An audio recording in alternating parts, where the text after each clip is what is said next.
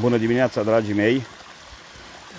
Uh, avem o problemă pe drumul Rodna-Măgura, drumul de legătură. V-aș ruga să distribuiți cât mai mulți în urma codului portocaliu care este în vigoare uh, și în urma cantităților importante de apă, de ploi.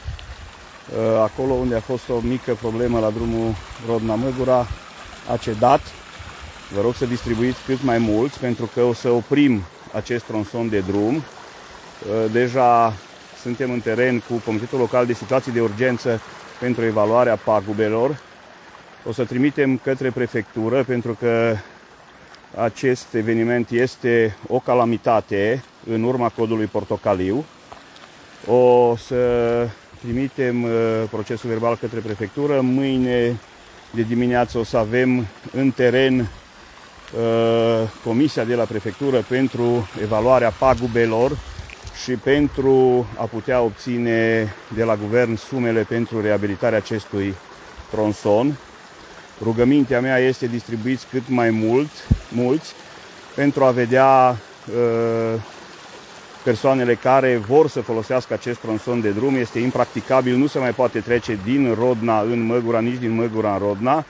Colegii mei o să închidă în următoarele uh, minute drumul. Deja lucrăm și pe partea din jos către Rodna și pe partea de către Măgura pentru a închide tronsonul de drum.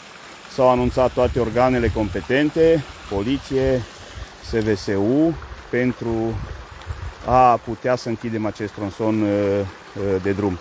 Uh, o să fac și o postare pe pagina mea, vă rog să o distribuiți cât mai mult și pe Uh, postarea respectivă pentru a putea să uh, uh, mutăm traficul pe alte rute ocolitoare.